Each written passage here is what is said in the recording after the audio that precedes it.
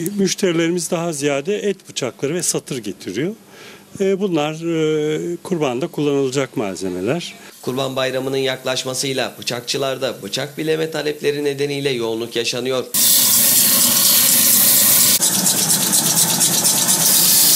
Edirne'nin bıçak ustalarından Mehmet Çetin, bıçak bileme talepleri nedeniyle bugünlerde işlerinde yoğunluk yaşandığını söyledi. Tahtakale esnaflarından Çetin, 1951'den bu yana baba mesleğini sürdürüyor.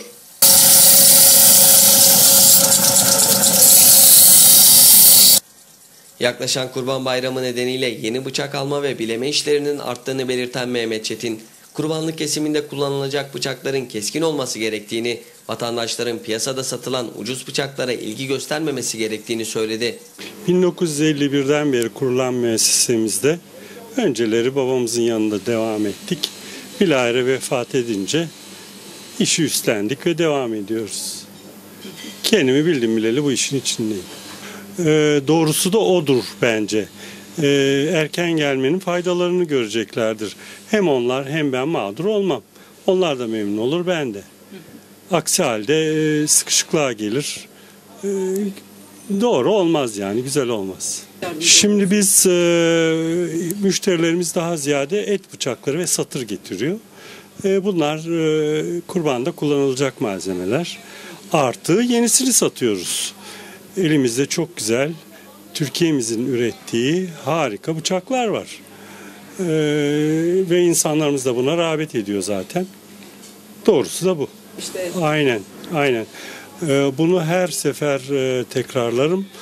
Bu sefer de tekrarlıyorum. İnsanlarımız bayramdan en az 10 gün önce gelsinler ki istedikleri randımanı alsınlar. Doğrusu bu. Peki Edirne'de sizin gibi bu işi yapan, bu mesleği yapan Var, var. Komşum arkadaşım var. Biz Edirne'de iki kişiyiz. Ee, son zamanda kalırsa e, sıkışıyoruz. İki kişi de olsak sıkışıyoruz. Zamanında gelenler e, gayet rahat işlerini hallettirebilir. Ya yeni bıçak alacaklar daha ziyade bize bırakıyor, bize güveniyor. Biz de onların güvenlerini boşa çıkarmıyoruz. Memnun kalıyorlar. Bilahare gelip teşekkür bile ediyorlar.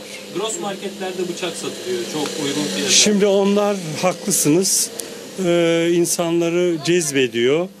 Ama e, ne kadar doğru onu bilemem. Yani e, çünkü sonuçta onlar e, Çin malı olabiliyor. Yani bir seferlik bir iş görebiliyordur. Ondan sonra çöpe at git. Ha, kullananlar yok mu? Var tabii ki.